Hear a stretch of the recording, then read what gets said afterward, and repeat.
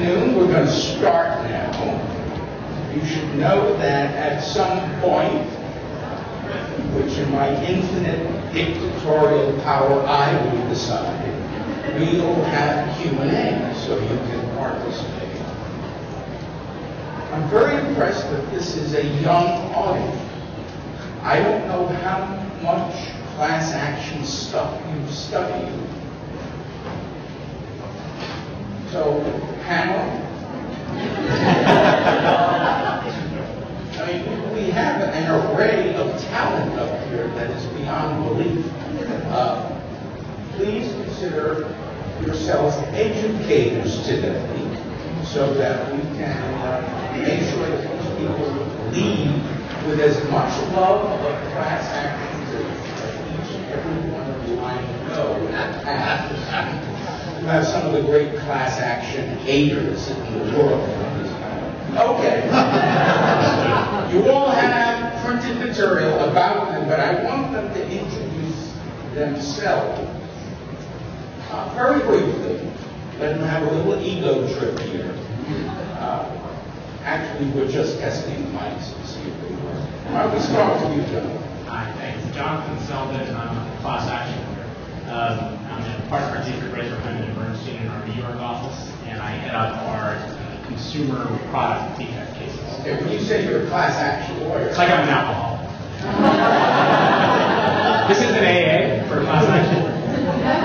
are you the left of the V or the right of the lead? I'm a play uh, all claims, All claims. 100%. Now, Catherine, what are you going to tell us?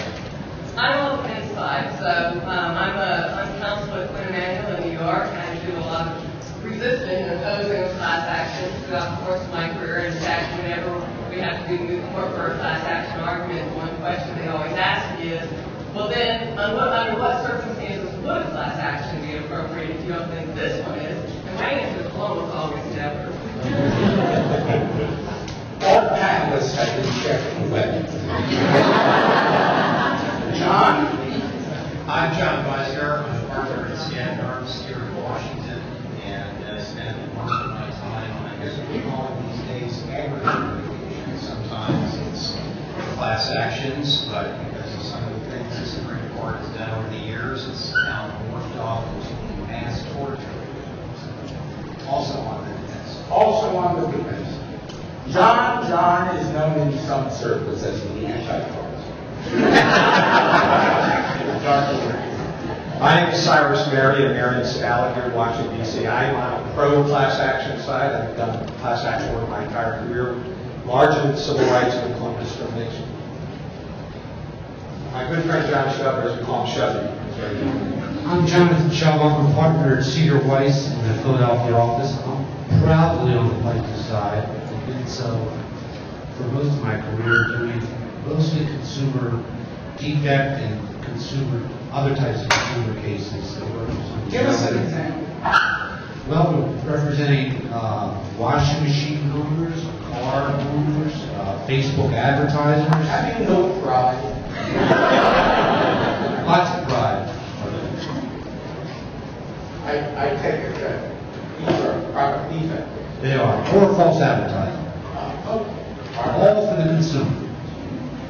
I'm Arthur Bryant. I'm the uh, head of public justice, national public interest law firm that uses litigation to fight for consumers' rights, workers' rights, civil rights and civil liberties, environmental protection, and preserving access to justice. We are the only public law, public interest law firm in the country that has both, that prosecutes both a wide range of individual and class action litigation and has a special project dedicated to preserving class actions and preventing their abuse. You're a real do-gooder. I am a total do-gooder. Total do-gooder. And you were my student, weren't you? And I'm still a very good do-gooder. Despite. That's right. Oh, you cut, then cut it. And then, Andy because I'm at uh, Mayer Brown's office here in Washington. Uh, on the defense side, and I think I will uh, probably be fielding and rolling a lot of questions about arbitration. I, I argue AT&T Andy is a great appellate lawyer. He is Suzette. I'm Suzette Longo. I'm a professor at Catholic University uh, Law School. Uh, I'm maybe the only professor on the panel. Arthur Miller is professor, but uh, otherwise, uh, I was the associate dean for academic affairs this past year at Catholic, and prior to that, a class action uh, mm-hmm. legal. Left, right, how would you classify yourself? As an academic, you have to say good take. Exactly. Now, if you believe that, Yeah, we. John? I'm John Vail. This is the correct spelling. In my role as an educator, I'll be collecting your tuition checks uh, on the way out. Uh, I outdo Arthur as a do-gooder. I was a legal aid lawyer for about 20 years, and my main experience litigating class actions is with uncontroversial Me Too actions. Uh, But currently, I'm working with the Center for Constitutional Litigation. We represent the American Association of Justice, formerly known as the Association of Trial Lawyers of America. Uh, So left, right, I lean to the right on that. All right, I- I've got to think about that. That's very complicated.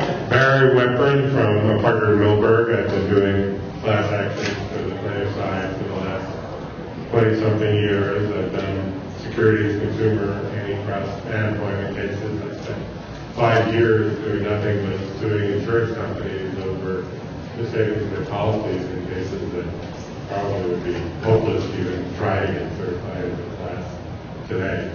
You sound depressed. More than usual, Arthur, and I think uh, it's not a happy time for class action lawyers, thanks to you know, our friends in the Supreme Court, so we're here to talk about that.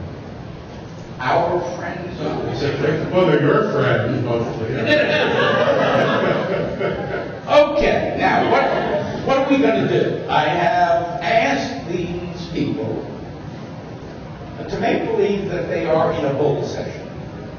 And what we're going to have is a bull session about the recent past in terms of class actions, what's been happening, likely to happen. So, structure and sequence are not two great virtues in this discussion. We're, we're just going to see what happens once we got, get started. Are you folks ready? Ready. I think it's fair to say this term has been a class action. I think there have been six cases. Six cases, five have decided, one remains undecided.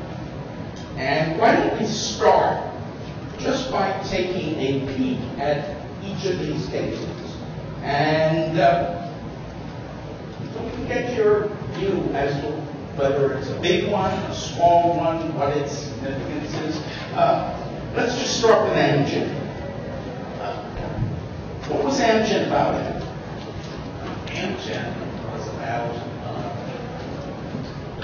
what questions, uh, substantive questions relating to uh, what a plaintiff has to prove in a securities class action. Get accelerated class certification stage because class certification depends on proof of those particular issues. Okay. This has been a continuing type issue, right? It has been a continuing, it has been a continuing issue. And one, I know we're going to hear a lot about the pro-business Supreme Court, but the pro-business Supreme Court is mostly ruled for the plaintiff side. Now, you think Amgen is a plaintiff's case? Do I think it's a plaintiff's case in terms of how it came? out? Yeah. Yes, the court said it wasn't, the issue wasn't going to be accelerated, so the class certifications. In Which other is what words, the plaintiff's bar wanted. the issue of the materiality of the alleged misstatement might await trial rather than be decided at the certification. And you think that's a plaintiff's case?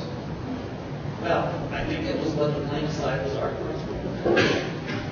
Arthur, do you think it's a plaintiff's case?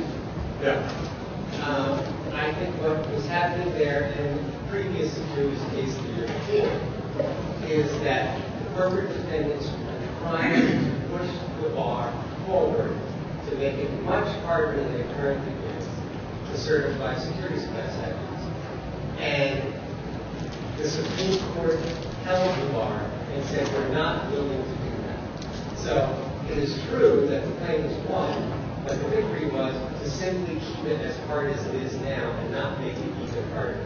But the storyline is, the Office Supreme Court every week is making things harder, they didn't make it harder in that case. They didn't make it easier. Well, that wasn't the question before, maybe there'll be a case in which no. Now listen to the way he phrases it. This is your classic appellate advocate speak. I mean, part of that is, I think, the, the issue of, um, uh, that Court ended up considering may not be the one that the justices that voted for intended to consider. Um, since the issue of broad market wasn't really presented in that case, and there's some hints that that's the issue that the justices granted cert were discussing. I do think there's, just, one thing on that, I'm already, apologize, I think it is pro plaintiff in the sense that at least it still says that we're dealing with what the rules say, which is, are there common questions, not are there common answers, which some of the other cases seem to want to require.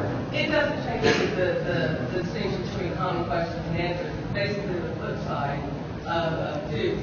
What it says is, you don't have to act, reach the answer at the, at the class certification stage. But the answer is going to be yes for all the class or no for all the class, which is what the, the situation with, with the issue of materiality, that's what gets decided in the class certification. Is the answer going to be the same? Not what is the answer. And what the, what the Fifth Circuit has said is, no, you have to actually answer the materiality, materiality question at the class certification stage in order to apply this fraud on market presumption. And that's what the Supreme Court rejected. I, I think there is some, I I think you're right, that there's sort of, a, why did they take this case? You had a sense, looking at the dissent, Justice Alito saying, I accept the basic case, farmer's market still lives, but let's have certain issues so we can talk about that again. So I think that the main import of this case is what do they do next term?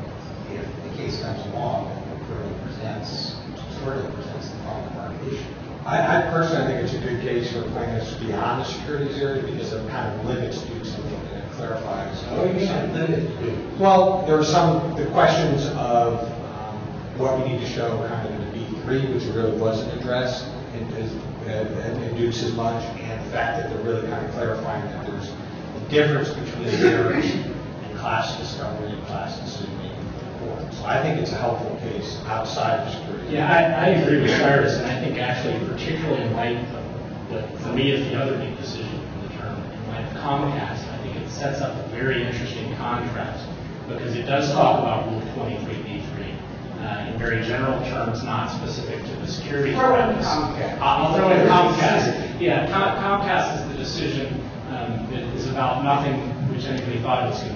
be about. They, ended up, they ended up rewriting the, the question cert was granted on, and that's not even what they answered. But, but Comcast, the big question is In whether. other words, they decided what they wanted to do. That's right, that's right, and nobody actually briefed or argued. But um, the, the interesting thing about Comcast and, and Amgen is that they both talk about uh, Rule 23B situations, and they both talk about uh, predominance issues. Um, and Amgen, a six-justice majority, says predominance at the end of the day is about fairness and efficiency, um, and says you do not have to actually certify every element of every cause of action, and certainly not damages. And then you get to Comcast, which comes out um, and seems to suggest, at least our friends on the other side of uh, would have us all believe that Comcast means you can't certify a class action under Rule 23b3 unless every single element uh, can be proven by class-wide proof, including the one that we all thought was not part of that damages. Okay. So I think there's a very interesting uh, back and forth that's going to take place as between the holding of Amgen, which I like very much, and the holding of Comcast, which I don't think it means that, but there's certainly a lot of argument that it Well, does. it- it's a funny thing, I, I ride the subways in New York, and I'm always interested in what people are talking about. I'm talking about this on the subject. Yeah. I heard this conversation on the subway, two people talking as to whether Comcast and Amgen are inconsistent. Argue the same day. Right, one was after lunch and one was before lunch. Jonathan, you really missing out on this, so are you single? It seems like they're really both about this notion of when you get to go into the merits. at class certification stage. So there's that whole issue coming out of Walmart. When you're looking at classification, Um, at what point can you sort of dabble in the merits and make those determinations? It seems like both Amgen and Comcast are saying in the B3 context that there's, there's a limit. There's a limit as to how far you can compete with the merits at the class certification stage. So it's sort of a relief, I think, at least for the plaintiff's bar, that at least in the securities context, it's not like a Wild West. You can, in fact, stop at some point and say, you know, this is too far against the merits at the class certification stage. Well, but it's not really clear, though, where that line is, has been drawn. We know that Amgen really stands for the proposition that there is a line that a Rule 23 motion is not the time to try the case. That was made very clear. But we don't really know from this point where that line is to be drawn. We know that the merits Dukes are important in, in the analysis of a of a Rule 23 motion, but we don't really know, again, how those merits are supposed to be judged by the court. Uh, And I think it's going to take some, uh, some appellate decisions to really um, uh, flesh it out as to where the merits lie. I mean, it's, a- it's, a- it is a fine line. But that does define the debate. I mean, you take it, coming forward, before Walmart, you know, class certification was primarily a debate, not primarily an evidentiary issue.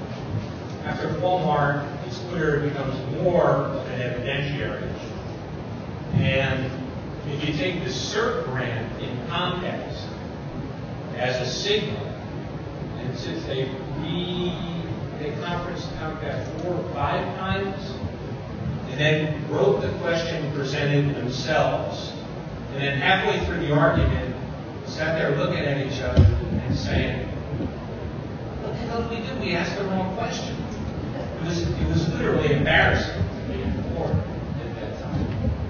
Uh, and this is very clearly what's at stake, what's going on here is how much of an evidentiary burden will a plaintiff have to prove to get certified versus to win the case. And, you know, you're looking at a greater congruence between what you need to win and what you need to, just to get certified. And that's, So it's that's question where we're how much, how much you're gonna front load the case at the certification. I don't know, I think you guys are being definitive. I- It happens to me that the court was very clearly saying what Catherine said. The question is the common questions for Dominic. But I think, I mean, I think one thing that is really disturbing about that case is just how active the Supreme Court was in that case. Okay, so that uh, below, you have an expert report, multiple theories, one of which prevailed for getting the class certified. The dissenting judge on the Court of Appeals raised a question about it. The Court, then the Supreme Court takes it. The defendants never objected to the expert report at the trial court. Not- They did not object to it goes up to the Supreme Court, the Supreme Court bails them out. Does anyone in this room think that the plaintiff's counsel didn't object to the defendant report, that the Supreme Court would come to our rescue and bail us out? It would never happen. So I think there's really, a little bit. I mean, I, think that they- they've gone so far in terms of tipping the playing field that this is a case that's an illustration. But, I agree with Andy. I don't, think Comcast means it's as dramatic a change as a lot of the defense bar has argued it is, and as lot of plaintiffs, on the plaintiff side, have interpreted it. I think that it's a very narrow decision about the improper fit between an expert report on the images and the actual liability theory in the case. I don't think it's about broad proposition. And Ninth- the Ninth Circuit- Battle that's being teed up. The Ninth Circuit interpreted. Right, the Ninth Circuit agreed with them. They said it was essentially about what Jonathan just said. It's a question of whether the damage report fit the liability. And, and that's what the, the, the dissent tried to narrow the majority's opinion as well. It wrote extremely long opinion explaining why thought that the, majority's ruling was in fact very narrow and it didn't say anything about whether damages had, had to be proven on a common basis. The majority responded directly to the dissent and said, once we decide that the expert report doesn't prove what it's supposed to prove, they lose class certification because they cannot meet their burden of showing that damages can be proven on a class-wide basis. It says that point blank. But I don't think it does answer the dissent's point about damages. If the dissent goes out of its way to say, this should not be interpreted to mean that you have to show damages with, common proof. And, that's never directly answered. And I think if there were five votes in the Court to answer that question in the affirmative, that you have to have predominance as to damages, then they would have said didn't. And I, I, I just, I drop, I drop a footnote, everybody in the room should understand, if they decide you have to have common proof on damages, that cuts the heart out of a wide swath class It, it writes twenty-three B three out of the books, it writes twenty-three C four out of the books, I mean, it, it, it really can't be, except that they get to say that. I'm not so sure that's, that's, that's right, because I, I can see circumstances where. No, I think in terms on the, on the damages side, I think there are circumstances where there may be an administrative process where those determinations can be made. I think the problem in a lot of these cases is that people lump together injury, which is a substantive requirement of the clients and damages. And in those circumstances, I, you know, I don't think that you can prove it on a class-wide basis in many instances. But I don't think I agree that if you read Comcast as saying damages are have to, have to be proven on a class-wide basis, that's necessarily the end of the ball. Yeah, But I don't think it's, that. I mean, I never hate to be on the wrong. Can we I'm saying I agree with you. Can we get this transcribed? I mean, really, where it says that.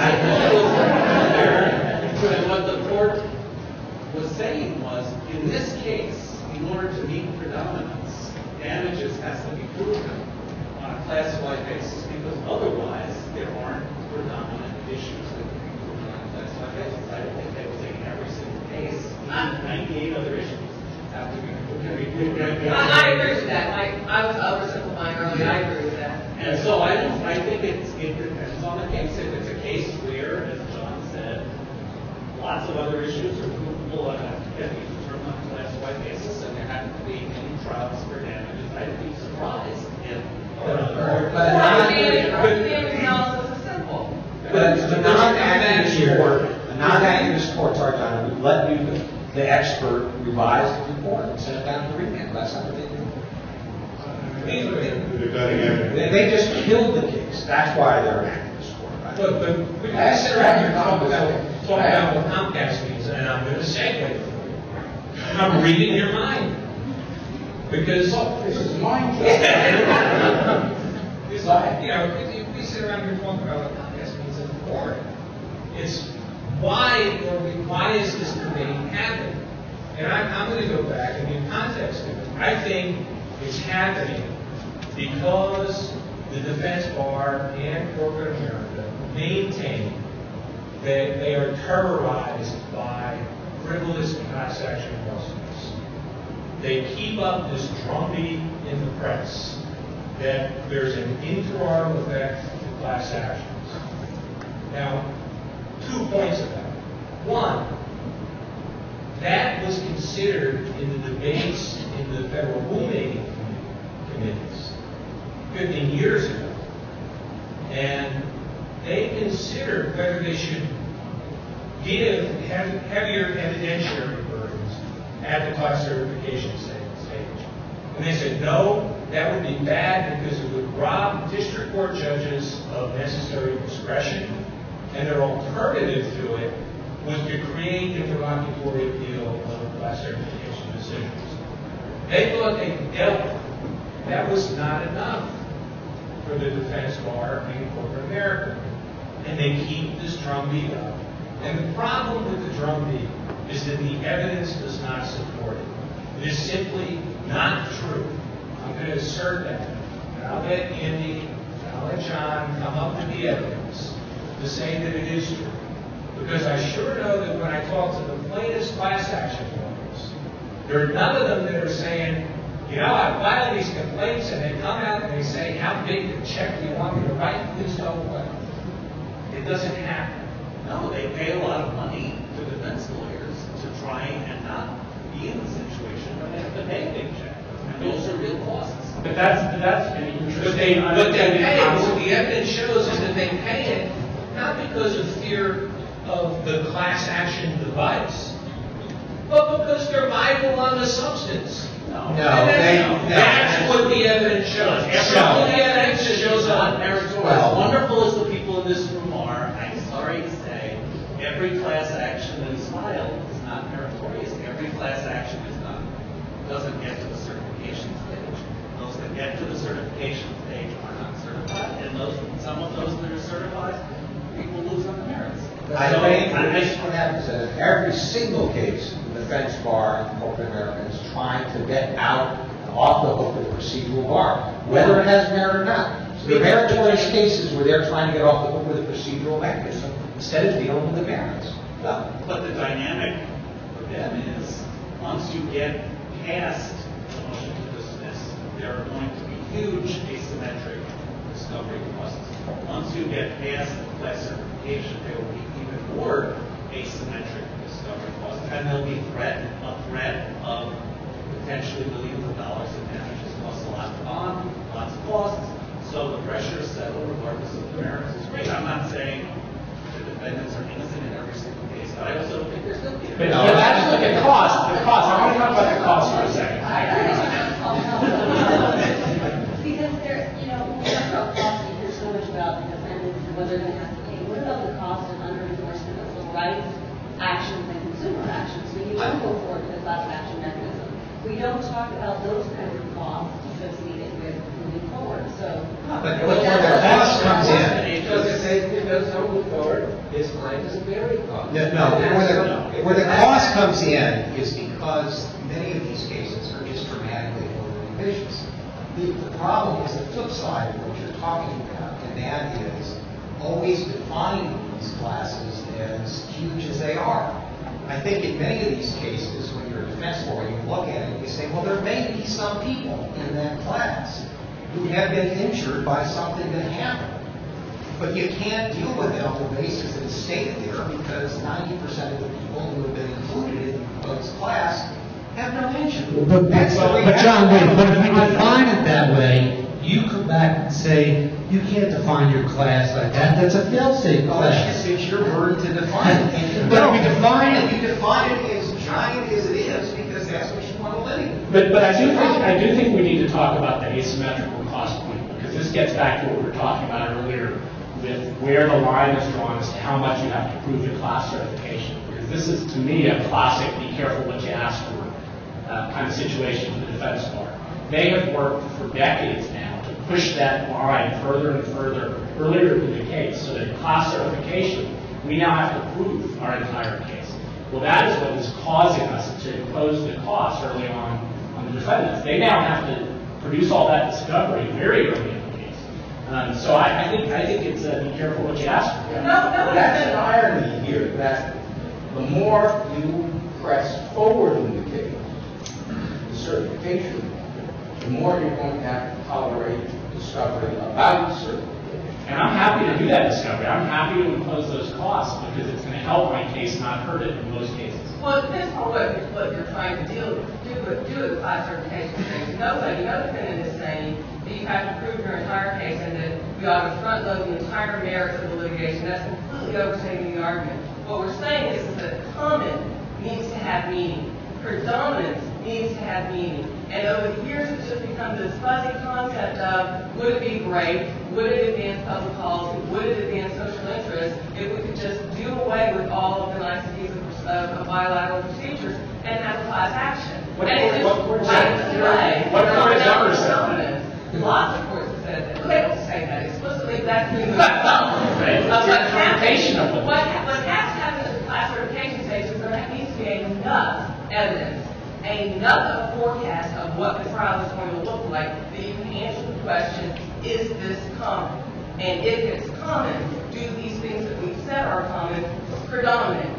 That's what's required, and you should do enough discovery to get to that point, but you don't have to discover your entire case. But, but when's the last time you were in a case where they bifurcated the class certification discovery? It's been a long time for me, because now it's just, you gotta prove everything, so we're gonna give you discovery on Well, I. I I think that in a lot of cases, the courts say you have a limited period to do discovery and you prioritize it in a way, and parties frequently decide that there are some things that are needed, some things that are not.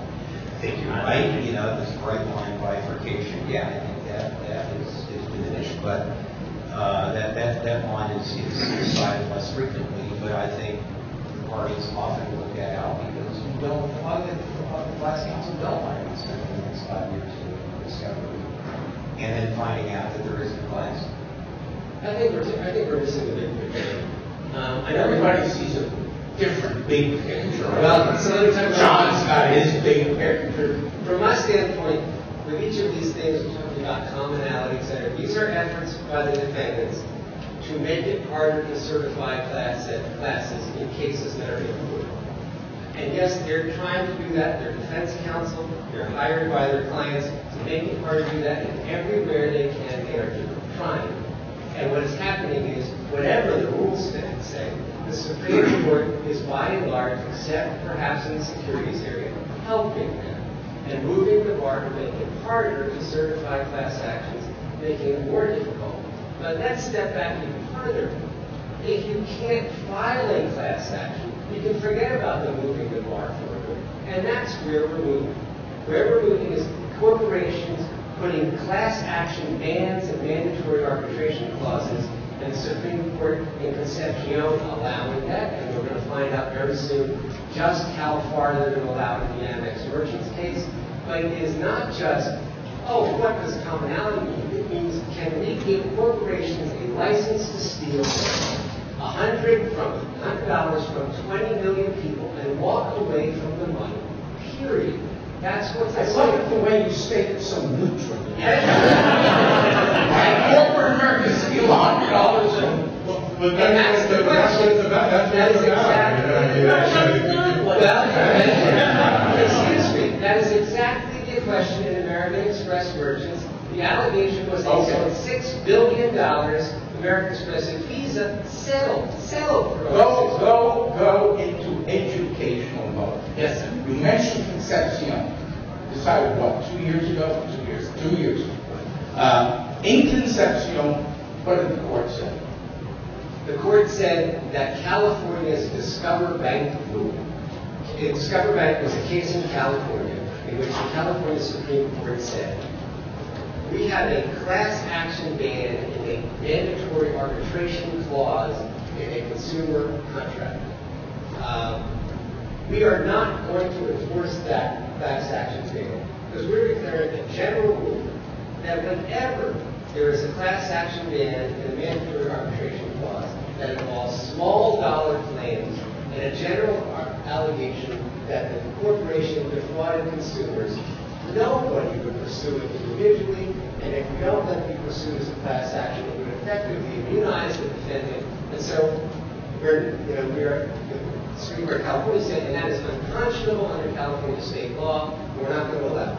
And- And, the court, the U.S. Supreme Court in Concepcion held that is preempted by the Federal Arbitration Act. It is anti-arbitration, and so California can't enforce this Discover Bank rule. It is preempted, and these people have to go one by one to individual arbitration, which ain't going to happen.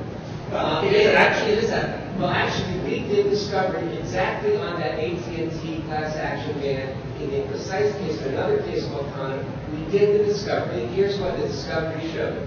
Over six years, 0.2 percent of the people even filed an individual arbitration claim. Um, over six years, when AT&T was at that time being ranked by the Better Business Bureau as the worst cell company in America, when Consumer Reports was denouncing it as the worst consumer report, when the federal government was saying they had more consumer complaints against AT&T than any other cell company in America, and they were 99 point, I think it was, 6% of their consumers were pursuing no claims in arbitration, while class actions were being filed against them. First, I left out one critical fact, which is the first step in the AT&T complaint process is to present your complaint and for AT&T to settle. And AT&T, no, wrong. There's a mediation process first.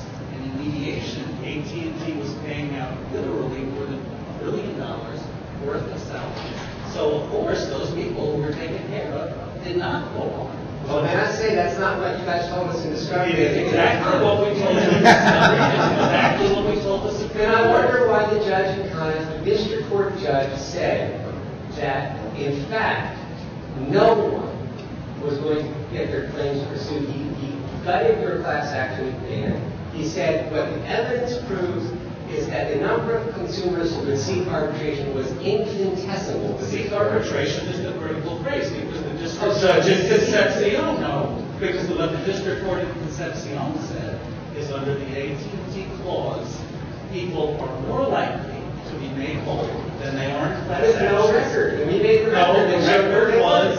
I, I'm sorry, the record Don't was. you love it when the they talk dirty? Hey, don't you guys believe in res judicata? For God's sake, shut up! About what's happened since Concepcion, because I think it's even more interesting, Do you think it was a pro point, a pro consumer decision? They just were being too negative. It's a, it's a pro, it's good for plaintiffs, right? I don't think y'all. Here's what I think Concepcion, bad for plaintiffs lawyers, bad for defense lawyers. Good for consumers. Yes. Yes, absolutely. I think it's well, not my biggest Can I explain for two seconds why that's true? Time's up. I think it works in the Yes. We're talking, about a point that Suzette said earlier, related back to this, is the human cost of having a meritorious cases not being brought. So if you look at cases my firm's involved with Texaco, Code, Morgan Stanley, employment discrimination cases, the heart of which is injunctive relief, creates equal opportunity, transforms companies, gives thousands of people a chance to compete for jobs. Well, under mandatory arbitration, those cases would not only not be brought, they would be, if we're brought, they would be brought by individuals, and be all cloaked in secrecy. One of the advantages of a class case is when you get injunctive relief, it sends a message to other companies, and we, we have seen other companies get inspired by seeing what's happening with sister companies, and they also take proactive measures. So that's what's being lost in this whole effort to close the door on litigants. Chris, let Andy finish. Well, I, I- I guess what I think uh, about dispute resolution is, we all, you know, lots of other things in society are being changed by technology, by lots of development. I, I think the legal profession, maybe because we it by precedent, is uniquely resistant to anything that looks like change. And I think the reality is, if you're a consumer and you have a non-classical claim that isn't $100,000 or more, you're sort of out of luck if you're pursuing it in the court system because small claims court, a disaster. Other courts, funding's drying up, you can never get your case, and for real people to navigate the courts is a disaster. So for non-classical claims, arbitration is a tremendous benefit. So a lot of your assessment of arbitration depends on two things. How many injuries do you think that real people have that are classical and not? and how many things that are asserted in class actions can be effectively remedied through a good, fair arbitration system. And I'm not saying any arbitration system but I think looking at the entire system is critical. And since if you say, we're only going to look at class actions, and class actions are harder to bring under a bilateral arbitration system, uh, A, that's not necessarily true, because aggregation is actually being pursued today. But B, you're leaving out a huge part of the problem, which is how do real people get relief on individual. But- but how many of those real people- Arbitration, I mean, that's the thing about arbitration, it's nice and maybe cheaper, and maybe more efficient and less expensive and faster, but I think that's if people actually consent to arbitration. And- and- and how many- of the agreements are. I don't consent to any part of the contract of adhesion. When I sign up for a credit card, or when I sign up with HBO Go, or with any consumer service you can think of, you don't consent to any terms, and unconscionability is there to handle fairness. But As it. no, not, no, no, no, no, no, the Supreme Court specifically said. In Concepcion, they said that pre- the unconscionability holding of the California Supreme Court was preempted by the FAA, and so classical claims, let me just finish, classical claims could not be pursued as a class. They had to be done individually.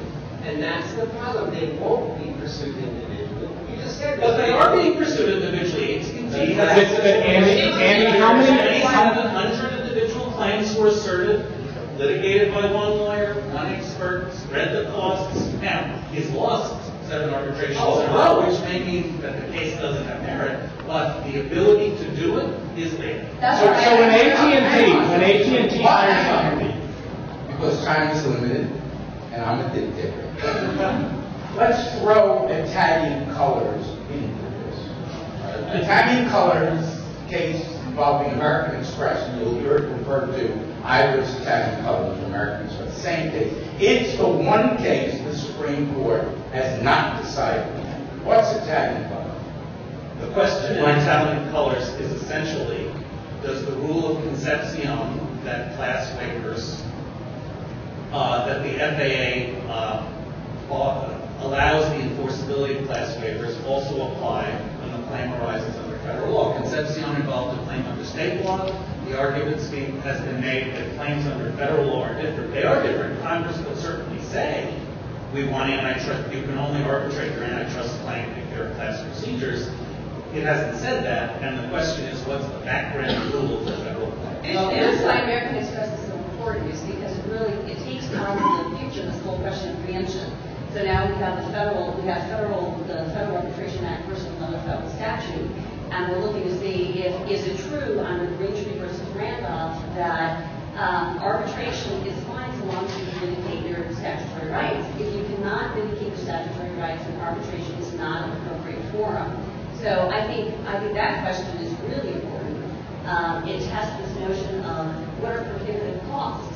So Well, if you have well- somebody who cannot afford to proceed individually because the expert report is so expensive, then arbitration or a, a, a bar to class actions within arbitration should be unenforceable. So right, let me just rephrase that, because this is another aspect of Italian colors. It's not simply the question of it being a federal statute versus a federal statute, but part of what the Second Circuit focused on was the economic unviability of proceeding in arbitration one by one by one. So it- it's a double header. And Although it's particularly exacerbated in the The plaintiffs consumer- in that case conceded, actually, one of their, one of the premises of the Second Circuit's holding was uh, their belief that the plaintiffs could not use a single lawyer law firm and a single expert to litigate all the claims. And they said, said actually, if that were true, uh, then this would be fine because we could vindicate our rights. Yes, so let's talk about this. But that doesn't, hold that doesn't apply to individual, The record of the law. right? And it doesn't apply to individual consumers. I mean, so you talk about AT&T, how many individual consumers can afford when AT&T hires you, Andy, to, to put forward the evidence required to show that there's a fraudulent practice or policy? How many can afford to show that there's a fraudulent practice or policy? That's a huge undertaking. Well, To that's- establish that, how many, how many can afford to Well, establish here's the a product thing, defect? AT&T has 100 million customers. Somebody set up a website and got, well, filed 2,700 identical complaints. I don't know how Well, many, so but that- there's 2,700 identical complaints, or 27,000, that begin to have a pretty good basis of things we're doing. Let's talk, To litigate the claim. let's talk about the fundamental issue that actually was raised in AT&T we're waiting to resolve. Um, The issue, the way, the way the Supreme Court up to now has justified arbitration at its core is to say, when you're moving from litigation into arbitration, you're simply moving from a different form that does not affect your substantive rights. You're moving from a more expensive, more complicated, more time-consuming form to less expensive, more informal, less time-consuming form. But you are not, and the reason that's okay for people to be pushed into arbitration is because it is not affecting your ability to vindicate your substantive rights. Oh, And what- give up your jury trial. Yes, correct, but that's their justification is, that's okay. It's always been, we're gonna allow that, one, because we agreed to it, which is a whole different issue, but two, because you're not sacrificing your rights. And in AT&T, they argued, the Supreme, the Second Circuit said, in this case, where any individual with a claim of worth five grand would have to put up five hundred thousand as minimum to prosecute an individual claim, an own, I'm sorry, I'm in Amex, um, is where it came up. Say, in this case, you need that kind of money, you can't do it individually, and it's not a class action, you're sacrificing your substantive rights. And what Amex has argued to Court until its reply brief was, forget the entire doctrine of vindicating your substantive rights. If the contract says we can ban your class action and force you to arbitration, screw your individual rights. You don't have them, the doctrine shouldn't exist. All that counts is you made a deal, and we can enforce that deal because it was a agreement. That was an argument. Now, in reply brief, they conceded, well, okay, maybe. But we're still waiting to see in the Supreme Court what they say about that core issue, because it's been the whole rationale for forcing people into arbitration from the very start. You know this court, though, what, Arthur, what do you expect is going to be the result? What do you expect? What I actually expect is that they're not going to reach the question on its face. What they're going to say is, you know, we don't think this prevents them from vindicating their substantive rights. The Second Circuit was wrong about that. They could go into arbitration and find a way to vindicate their rights, even though the Second Circuit, um, there was no evidence in testing otherwise.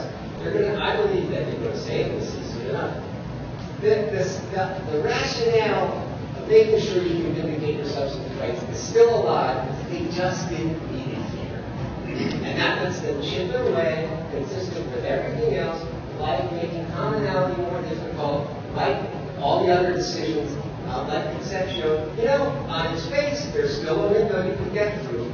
But in reality, what's going to happen is corporations will be free, not that they will do it, they will be free to steal billions from people and not be held accountable because you can't bring class actions, to discriminate against people on the basis of their race and gender, etc., because all of a sudden you can't bring a class action. And it is in line with the larger point, Arthur, that your whole article is in line with Iqbal, it's in line with Citizens United, it is making corporations power. Maybe- Yes, that's right. There was an aberrational decision. Yeah. They- And they didn't have a lawyer who knows Andy. No, no, no. In fact, Oxford, That's what I'm referring. Oxford Health was. Oxford Health, one of the cases this term. It just came out, and the Supreme Court said the corporation loses there because its lawyers made a concession. And if it hadn't made the concession, it would have turned out the other way. And even there, two of the justices said, we would have found for the corporation anyway. But that's the larger picture of what's going on here. Not exactly what the court said. The Well- court said, the whole idea of arbitration is, if you stop at arbitration, you give up all sorts of procedural protections when you agree to go to arbitration. You don't have a jury trial, you don't have a right of appeal. And what the court said in concession note is, we're not going to force the defendants who haven't consented to, to do class actions in arbitration as opposed to a courtroom where they have all of those procedural protections because of the stakes involved. In Oxford Health, the issue that was submitted to the jury was, not to the jury, to the arbitrator was as a matter of contract, interpreting the contract, which is what the arbitrator is supposed to do. Did we agree to do the class, action arbitration or not? That was it. And the Supreme Court said, once you say, once you allow the arbitrator, once you agree that the arbitrator can have that, that's a question of contract interpretation, we stop. The courts do not intervene. That's the arbitrator's role. Now, granted, there was a question as to whether or not that should have even been submitted to the arbitrator in the first place. It wasn't raised, but it wasn't the defendant conceded that this, this issue was um, decided. Uh, Andy would characterize that as a win for claims, right? I think it was. A win, it's one off, aberration. And you would say, if, if Italian colors comes down the way Arthur describes it, that's a win for claims too. Well, I Even think though it's it never happened. I think it's, uh, well, I think it will happen, Arthur, it is happening. I mean, I, I really think part of the problem here is lawyers have to be willing to look at the litigation system the way it is and be willing to say, gee, could we open our minds to the possibility that there's a different way to do these things that actually gives more justice to more people and class actions, I'm sorry to say it, in this room, you know, there, there really hasn't been an assessment that I know. Well, In but there- Fifty but- years of class actions have existed about, how many But- of them are meritorious? I'm sure everyone. Well, let's- by But people but here let's- not fixed. I, I gotta say, what do you mean, fifty years? 1966. How about fourteen hundred? I mean, the class action has been a procedural device. To when you were- Honestly, yes, when I, in my youth, in my youth, in my youth. I, I don't know, I wasn't there, You I- wanna use sixty-eight or sixty-six, I am the only person in this room who was with the committee when that was drafted. I was nine And. I know what they Look, look, we've had this device for five hundred years. But not B three. I think a lot of the focus here is, is the B It's on three me. kind Oh, of. you're going to, you're going to give us Brown versus Board of Education? I know, though, I- Class action. I- Reynolds versus I think people would tell you that a lot of the concern arises in these situations where commonality, predominance, there's a lot of discretion floating around, and I think people would say that is an area where some of the most troubling thing happens. Some of the most Yes, but when things it's that happen. liable, it's really trouble. I don't think that's troubling. I think that's. But here's what I say, It's money, money, not desegregation, so it's bad. No, I want to Well, say, no, money is wanna- a I huge. wanna- Agree something. I want to say, I'm one of those persons willing to say we need to look at something. But I look at the, I look at this world in a fairly simple way. For, for the one, We all agree. there's screwers and there's screwies. There always Wait, been wait, Are those technical? Those are technical yes. And what's happening, especially, especially in the last 50 years or so, is the scores are getting bigger and bigger and bigger and bigger. Let me give you a, a concrete number. Think of America in the 50s, post-World War II America, the economic engine of the world. You take the, the top 10 Fortune 500 companies from 1955. GM, Ford, General Electric, U.S. Steel. Those 10 companies together employ fewer people than Walmart employs. So there is an issue of scale a challenge, I agree with Andy that a challenge to the litigation system is how do you make it possible to go after the screwers when they school a lot of people in the same way? And the answer that we're seeing so far is that you can't. Effectively, the jurisprudence we're seeing is a jurisprudence of entities that are too big to be sued. And that is not tolerable. And there are two pieces of this. One piece, Andy's talked about the piece of how efficient is this system at getting money into the pockets of the aggrieved plaintiffs. And you can't be on the plaintiff side of this and say there are not some issues. Yeah. But what's not, one other thing that's not mentioned, besides cases that are broad, and Italian colors is a good example of this, are the anti-competitive effects, the anti-market effects of letting people who cheat keep the money that they got by cheating.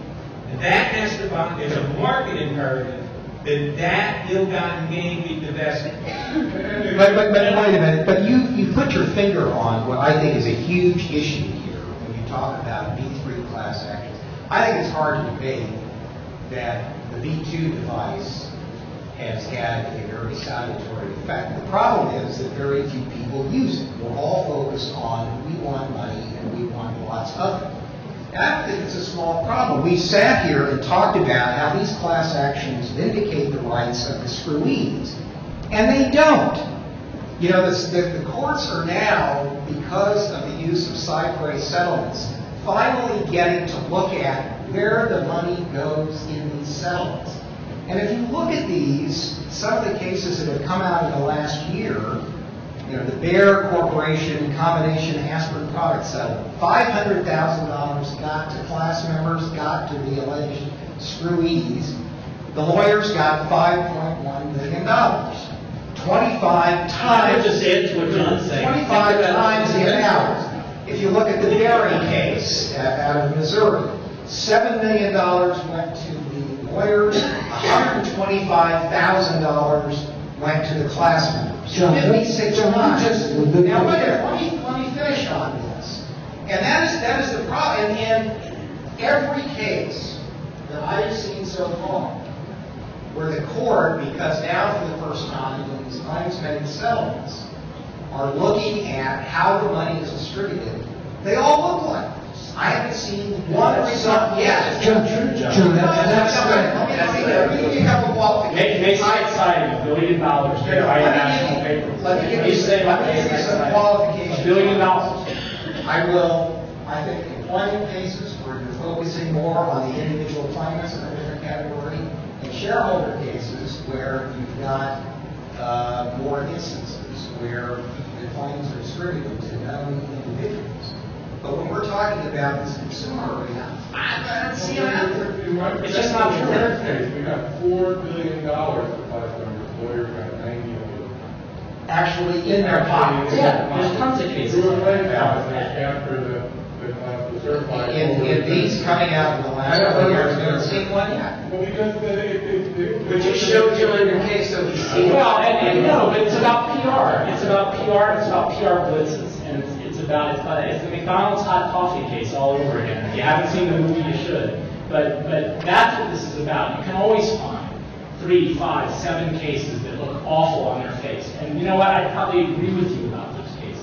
But, but what doesn't get talked about are the literally billions of dollars, hold on, the, the billions of dollars that do get transferred to consumers, to, to, to the, to the little guy for these cases, and the billions more that aren't stolen in the first instance. Would it be because a fair- companies know they'll be held Would it be a fair outcome if going forward, the lawyer's percentage has to be based on the money that actually got to the class? I, I actually have no objection. I do. So wait, I do. Here's I have no why. Here's why. There are certain circumstances in which you can't get the money to all the class members. Some die. Some can't be found. Big, big example, uh, the product Airborne, where they promised that it would cure the common cold. It turned out there was no research at all that said it was a lie. Patent lie. They got sued. Identify the people who bought Airborne. Can't find them. So what happens? The money goes back to the defendant? No, what the law says is, fine, you put a claims made process, or if they can't get the money back to the defendant, claims aren't made, you have to swear you bought it, et cetera, then it goes through the cy pres award to a group whose work would indirectly benefit the class members and create the three goals of class action litigation. Hold the defendant accountable, create an incentive for the defendant and others similarly situated to comply with the law and not break it again, and grant some appropriate relief. But- that at least advances the underlying goal of litigation. But that's- what you do if you can't get it to the, to the plaintiffs. If the statute says you can do that, fine, The but this law is, says that they. no, that this is, a- this is a procedural device. It's not very- If I go in individually and I in the end say, for whatever reason, I'm not going to collect the judgment, I don't collect the judgment. But you've got a dramatic Rules Enabling Act problem when you talk about this, this, this, this Here's concept. Look, it was not back in Philadelphia forty years ago. No, it hasn't been challenged under what, what the court held in Dukes. Ah, so this, is so wait, now you're saying the Supreme Court, you read Dukes, as not only rolling the bar back, but allowing you to validate a doctrine that's existed for fifty years to make the defendants pay when you can't find the plaintiff. Make the defendant- Now, that wipes- that's wiped out too? Man, you guys are hitting home runs left, right? Well, no, what you're saying is that you're going to go in on behalf of people who may not want this money. That's not what I'm And- saying. That's not what, let me give you another example. In Philadelphia, 40 years ago, the public bus company was overcharging. There was a class action brought, proved that in fact they were charging more than we allowed. Everybody who rode the bus was overcharged by, let's say, So what should happen? Well, the court said, and the ultimate result was, the future bus riders would get their discount, 10 cents off. It wasn't going exactly to the same classrooms because they couldn't find it. It was a use of the cy pres doctrine as close as possible to the first thing. It was different people, technically, some of them didn't want to know. But that's not what it was about. It held the defendant accountable, it deferred, it, it deterred future violations of the law, and it granted appropriate relief. That's what these are about. And you don't give them back to the defendant. There's no rules enabling that. It's a power of equity. That's what Arthur, you've been telling me about the, the laws of equity where class actions came from. That's what it's I was about. there. I- Just for clarification, there are two different things we discussed at the time. John started by looking at the lump sum award and how much of that lump sum award actually went to class members versus lawyers, and said that, that, that there's gross disparity there that the real victims aren't getting. Now, one can have a debate as to how much of the pie we should insist those to the class or not. One can also have a debate about, don't you have to put into this equation the social therapeutics of holding a wrongdoer liable? I think that- doesn't percent- Wait, wait, wait. Is this, excuse me, is this from Good Luck or something? I don't. See who's lost the lot since last And that, and that's why. All I'm trying to do is distinguish that issue from this side issue, as to what do you do with the leftovers? Right. Well, the litigation doesn't, let me- the problem is, the way our litigation system works is the cost of getting to an ultimate determination of liability is very high. So what happens after virtually all class actions are certified? Settled. So we don't really know whether the people are liable or not. We know it's in the interest of all the people who are making the deal to make a settlement. And I think there is an agency problem with the system that creates that dynamic and requires payments without a judgment. And B, I think the problem with your deterrence idea. already paid before a judgment. The settlement, what happens is, it's in everybody's never required. Yeah, but everybody You're not makes. sending the marshals out. No, but everybody makes a convenient deal, and the question is, is, while that deal is certainly good for everyone who's actually physically in the room, is it good for society? And nobody has really looked at that question. But they, but they have, no, but they have looked at the issue we're talking about here. That is, everybody knows, if the class isn't certified in small damage claims cases, the members get zero.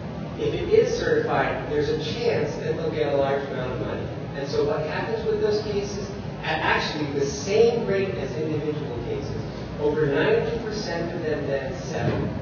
And some, very few, but some, just as individual cases, go to trial. That's not an agency problem. That's actually how our system works, class action or not. No, it's an agency problem because the real people are not at the table. Well, isn't it up to the Congress and not the court to deal with this? I mean, the Class Action Fairness Act, seems to me, should have more, you know, relevance to whether Well- AT&T customers have to arbitrate than the- our Federal Arbitration Act, which was But passed what- in what- 1928, and as Suzette points out, is really based on consent, and there is no consent. Well, A, again, we, we all don't consent to ninety-nine point nine percent of the contracts we enter into every day, but they're all enforceable, so. But I don't want to take Why, why are they enforcing it? I mean, that, that is a bigger question. Let's- I mean, we won't go into it, but that's a big question. Why are they enforceable? Well, no, that's a huge question. And in the Concepcion context, no matter what the hell state law says, they're enforceable because they're in arbitration agreement. That, that's, John, you've hit upon what I think is a big lurking issue here, John uh, alluded to it, this John alluded to it as well, which is what, what happens when state law recognizes causes of action, or in the case of, of arbitration, uh, defense like unconscionability. Um, now, all of a sudden, we're in federal court, thanks to CAFA, And all of a sudden, all this talk about respecting other states' laws, respecting the law of different jurisdictions and what they mean in substantive claims, now it's supposedly up to the Supreme Court to decide, well, we don't think that's a valid cause of action. We don't think you've been injured, even though state law says you've been injured. We don't think that that's a good defense of unconscionability because we, the Supreme Court of the United States, say it's not, even though the Supreme Court of California said it was. And this is, I think, the next big issue that the Supreme Court is going to take up. I think it's to, I know it's been asked in a bunch of cases, which is this quote-unquote uninjured class member issue and standing issues, where state law clearly provides that somebody's been injured. Um, and, and yet, defendants are arguing, well, no, now that we're in federal court, we have a different way of looking at it. And I think that's a huge issue. Let- let- let me- let me- For, for, for Andy and John, and we can solve all these problems. We can solve all these problems readily. And we can deal with the problem of appointing federal judges by saying, we'll just do away with diversity jurisdiction. And then you can have this problem with Federal Rule 23. Hey, that would, that would wipe out the one thing left to me in life, and that is my first year procedure. But you can teach it on a state-by-state basis, that's, you know, on the table. Say more, John. Yeah, well, well, so the big issue, and- and John and I are locked in a, a sort of indirect battle on this in a bunch of cases right now, so we're both sort of involved in it a great deal, but, but the big issue is this question of what, what it takes to have standing in class actions and need every single absent class member have, have constitutional standing, or is the rule that just the class representatives have it, and what does injury mean? Um, and there's a great deal of debate about this issue. Now, it should be defined by state law. The concept of whether someone has been injured or not for purposes of cause of action should be decided by state law, because it also implicates constitutional standing. You've got courts being asked to impose their own views on what state law says is injury. Yeah, make a factual illustration of this problem, so that we all understand. Am I allowed to talk about washers, John? You told me I couldn't talk about washers. Don't ask me, but at that, at, ten after I can clear the room with the washing machine. Here, I'll do it, I'll do it, I'll do it. We all know that computers occasionally have problems. Because of the way they're wired and all their. Now, you can have hundred thousand people have bought a particular computer model. A few of them experience a loss of data because of the malfunction. Most of them have not experienced any injury in the sense of loss of data, although you could make the argument that they have paid top dollar for a product that isn't top quality. So, who's got standing to complain? Who's been injured in the eyes of the law? Yeah, and under most state law, the answer is there's a diminution in value that you can quantify there say that if you would have known you had a risk of paying of, of this failure, you would have paid less. And it gets back to the market inheritance. Right? You, you tie this to market needs. There, there's a diminished value of purchasing that computer. Most state laws traditionally have recognized this. Federal courts are, are suspect of it. Yeah, and I, I see, I, and I think we're, we're we're getting off of the inside baseball on this, but I think that, you know, I view it differently. I think most state laws have said that unless you've had a manifestation of a problem with your washing machine, you don't have. Your computer, we're not You know, that's what the problem with my computer, I thought it was a washing machine.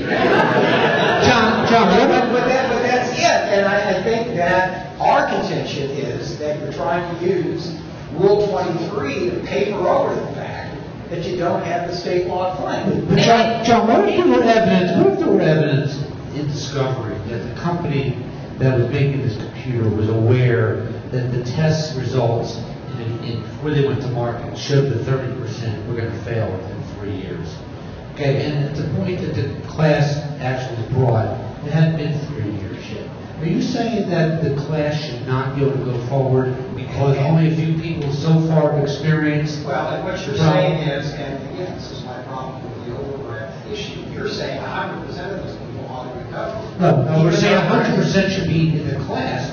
Not everyone in the class necessarily is No, but that, that's what, that's what he's saying, is that, that that 100% of people get money back, even though the vast majority, is here. You know how we shift- you know how we shifted, notice how we shifted from the, the importance of the class action as a, a- as an advancement of public policy, defending people who are, um, discriminated against jobs, the advancement of public policies to providing a vehicle for creating class action settlements on behalf of people who have never been injured, most of the class have never been injured, but the class attorneys walk away with a huge pile of money. But- but why do you know, say they Public haven't- policy is why- shifted. why do you say they They, haven't they lost haven't their been law? injured except in your abstract notion of state law. Did- They haven't lost No, any no, name, no. they haven't lost any money, they've not, if you hadn't shown up and told them they were injured, they never would have And so known. when Frank Easterbrook says that paying more for Have something something than you against should, free when, when Frank Easterbrook says paying more for something than you should have, and that it's not worth what it was represented to be, is the essence of the image. You're saying that's not injury?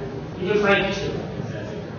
Anyway, But we so- read the picture with the secondary market for the product possibly, but for these, most of these bunches, these, these, these consumer goods, it's not a real injury. This, I think goes back to that very first comment that I made, is that, that, that, you know, we started off by talking this about being a vindication of, of rights, but the real problem is what Andy's talking about here is the, is the, is the effort to use the device over expansively to try to make these disputes much bigger than they have to be. All right, so let me just jump in here. I think that Catherine is right. Look uh, how this, Stop, you, that's your point. there you go. I think Catherine's right. Look how this debate has developed. It's fascinating. I think Andy and John and Catherine have done a great job. I mean, so if we're talking about what we heard is, class actions don't get money to plaintiffs. They only get money to plaintiffs' lawyers. Geez, wonder where we've ever heard this before. The, the billions of dollars that was gotten, never heard of such a case, doesn't exist. And so what's the answer? Get rid of them. Make them harder to bring. Geez, wonder who else is thinking that? Read seven Supreme Court decisions recently? This is all what we're dealing with, and I do think the larger context is critical. So let me talk about just for a second. No, let me finish first, please. From my standpoint, the class action and mandatory arbitration decisions are in line with what the Supreme Court is doing in a much broader range. They are dramatically, they, Citizens United, Iqbal Twombly, uh, you know, uh, federal I preemption. don't find this argument plausible. Federal preemption, they are dramatically making it harder to hold corporations accountable, expanding corporate rights, limiting plaintiffs' rights, and the key point here is this has real-world consequences that are horrific. We're not talking about legal doctrine. Here's what's happened. The court has, in the last five years, held that businesses can sell and injure and kill people with defective medical devices and inadequately labeled drugs. They can ban class, corporations can ban class actions against them for cheating consumers. They can ban class actions against them for discriminating against workers on the basis of race or gender um, or disability. They can uh, violate human rights and not be held accountable. What's going to happen as all of these legal limitations on corporate behavior go away? More of all of that behavior is going to take place. Maybe the best corporations won't do it, but the worst will. And that more and more people will, as a result, be cheated, be discriminated against, be injured, and be killed. Arthur, So this is, is this is this is but all motivated by a love of corporations. We've got nine intelligent people up there. We need Or at least eight or I seven. thought you meant. No, no, trying, I'm trying make a psychiatrist out of you. What the hell is going on in their minds? What's Is going it- on is that there are real abuses in the system, and the more you say everything's perfect, everyone knows everything's perfect. I mean, I'm not saying everything's John says everything's not perfect, but if you want to say no No, changes, everything's perfect. It's I- not. There are real serious problems I that have agree. real consequences. I- And I, let me just say one Yeah. More thing. There are government enforcement, the idea, Well, well, offense that the plaintiff's bar is our last line of defense. It's just not right. I know. Fifty AGs, fifty AGs, an FTC, a Department of Justice, a brand new All of them say private class actions are essential for justice And you don't have done. the resources or may not have the political will to- But to be able to. I haven't been an AG hurts a lot of people, that will get them on TV. I just don't know that. of folks the EEOC, for example, is completely, is overwhelmed, doesn't have the kind of resources to bring sort of pattern practice cases the way it needs to. And so the private, you know, private attorneys general are necessary for the enforcement of civil rights actions. I, I would just add that I think this There's conversation. also- Well, there's also the private attorneys general, the the statute itself says that that's necessary for enforcement. Everybody knows that. So. And I'm not I- saying it's not, I'm- all I'm saying is the idea that there's nothing. Let's be, it's the same as saying everything's perfect. Let's be real. There is a backstop, maybe it's not perfect, but it's there, but let's also be real. There were problems in the litigation system in, in. in- I mean, I think, Justice but, but Department. here, here's the issue, As There are problems, but you don't adapt. The problems are outliers. And you don't create general rules to adapt to outlier problems. You address the problems on an outlier basis, and you adapt the system accordingly.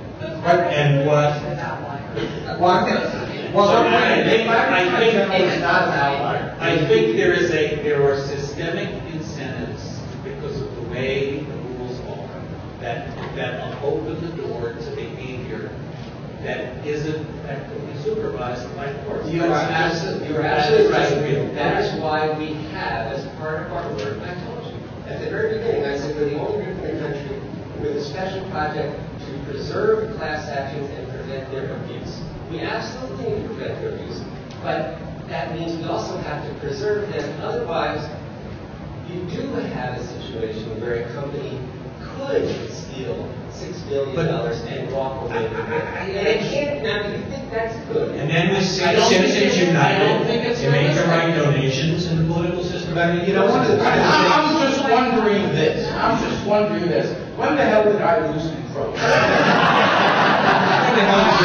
I am sick of you, Ted.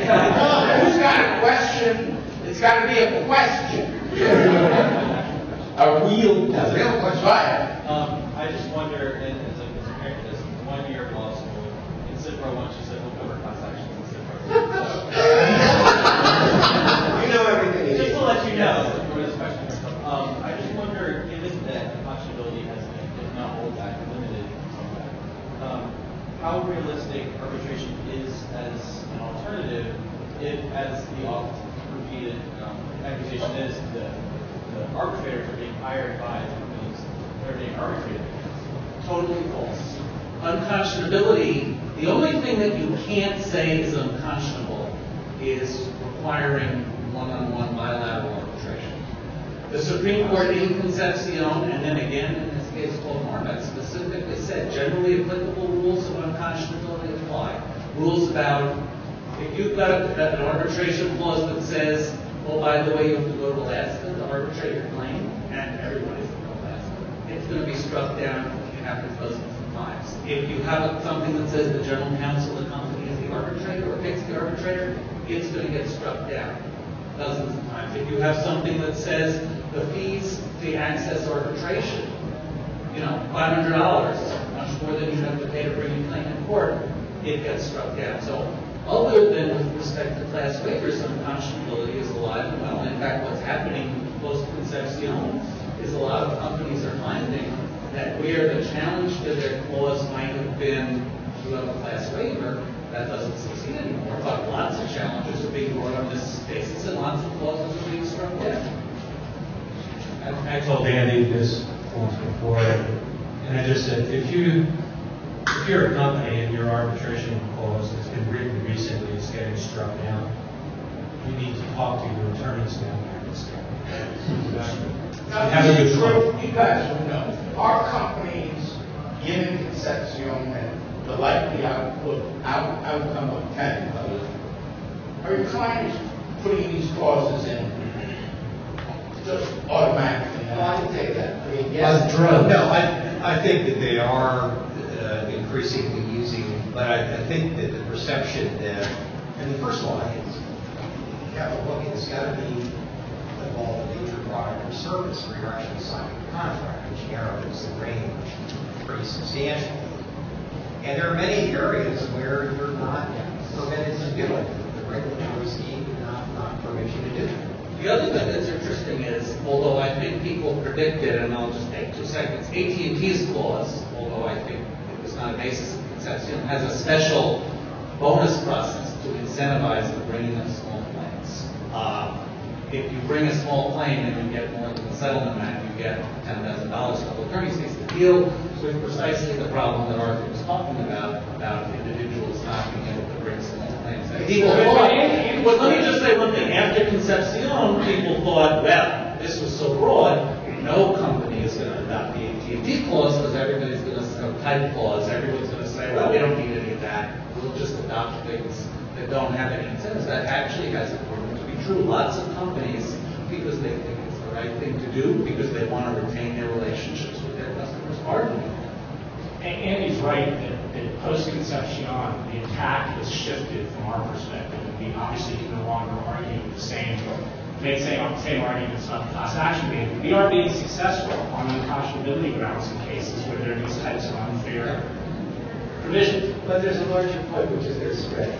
That is, up to now it's been cell phones, credit card companies, you know, things like that, where there's small dollar amount. And so that that's actually a scam. You can, in an increasing number of states, you're finding them in doctors' contracts. You go to sign up forms, when you get a new doctor, it says, you can't sue me, you go on individual arbitration. Can't me. You can't find in nursing homes, all the paperwork you gotta sign the you go a hospital. You can't sue them if, if they hurt you can't do it you're forced into arbitration. And all small dollar things, you get, they put the class action, they're putting more and more class action bans in the arbitration clauses. So you just can't ever take them home. I'll just say that I think it's true that, that they're used, but one major use of arbitration clauses in the Kaiser plan in California, which actually has an independent review of its plan, lots of distinguished people who might otherwise not be paying to arbitration uh, have put their names on the reports saying, you know what, this arbitration system really works from the customer's perspective. Let's get some more people. Sir? So the conversation started out by talking about uh, the merits of uh, a class action, how far is the merits of class action Amgen and Comcast. I'm just wondering uh, to throw Smentek, the Seventh Circuit decision, into uh, the mix here in terms of the preclusive effect of a non-certified class and how that affects your opinions as to how far into the merits we should go prior to class certification. Anybody want to handle that?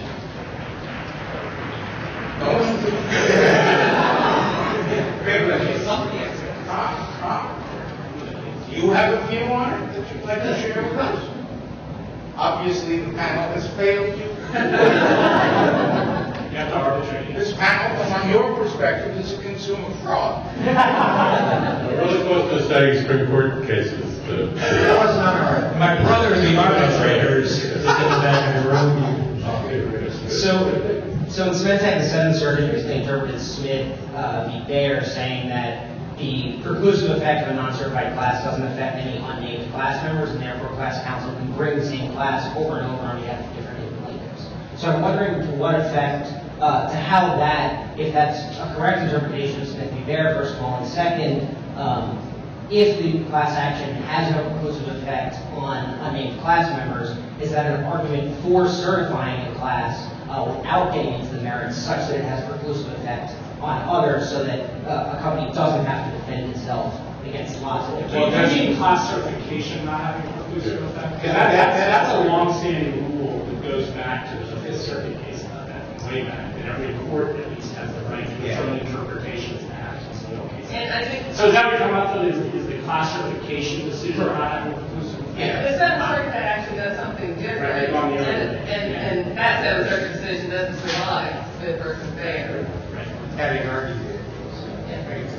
Okay. But, but I think that the, uh, the, the, uh, you know, the Supreme Court, I think, reaffirmed that in the Catholic decision, this term as, as well. So I, yeah, I don't, I don't think that's, that's a radical change. But if you're asking, should a defendant, in order to agree to certification in some way, avoid repeat litigation, That's a big fact. Yeah, I- I think most would say no. Most would say no, yeah. It it was more common, actually, 50 or 20 years ago, than we consider doing that.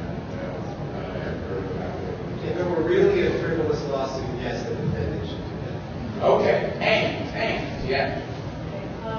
Microphone, microphone, microphone. I had a question about the settlement pressure discussion that was going on before. Um, I took, um, some procedure two over the last semester.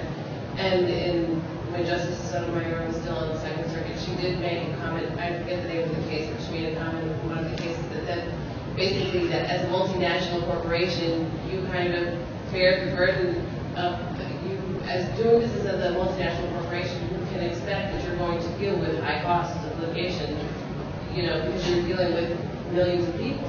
So that's to be expected, and that's just the price of doing business, basically. So what is your position on that? If you're going to defraud a lot of people, you're not default to tax for defrauding a lot of people. But the problem is if you're innocently, if you didn't defraud a lot of people, it's pretty easy sometimes for people to bring a suit saying that you did, and that's where the, the bad things happen. The the question is. Well, that's not where bad things happen. The bad things happen when there's fraud. but- Well, I guess the way the problem is, if you're doing business, if you're doing business with a huge number of people, and you're charged with doing fraud, whether or not you did it, the potential liability is large. And so, yes, you can say, if the class isn't certified, no problem, to pay zero. Once it is certified, of course, the risk is because you're doing business with a huge number of people at the same time.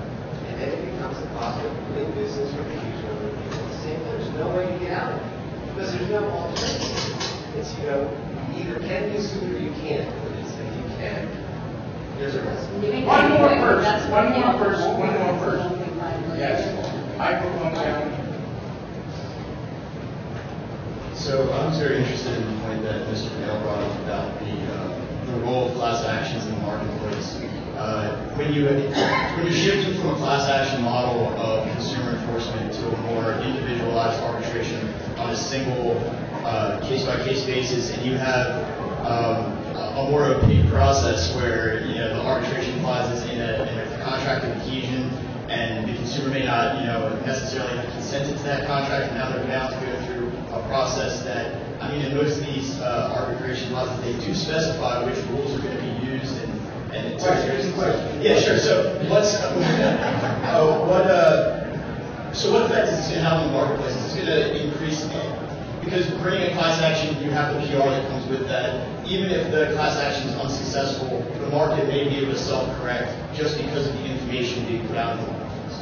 Well, let me, I, I guess I have two reactions. One is, there's no, nothing that says either the individual or the lawyer thinks they have a a viable claim, can't use the internet to publicize heavily uh, what they think the company did, and that's been done in a lot of cases. I, I would also say, again, I, I hate to think that the existing litigation system isn't perfect, but I think the internet also provides a lot of other tools for disciplining bad corporate behavior that don't require litigation. There was an example of a phone company that was not AT&T that imposed a charge for paying online that people thought was very large.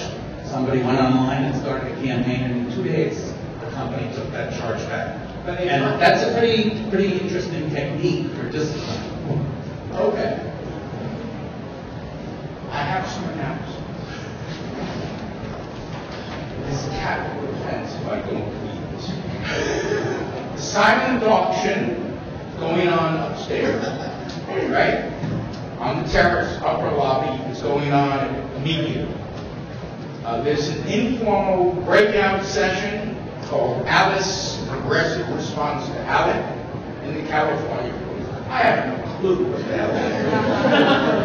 At six o'clock, you're invited to the presidential ballroom for a view from the bench discussion featuring current federal, district, and circuit court judges. Look at that list, that's a very impressive list.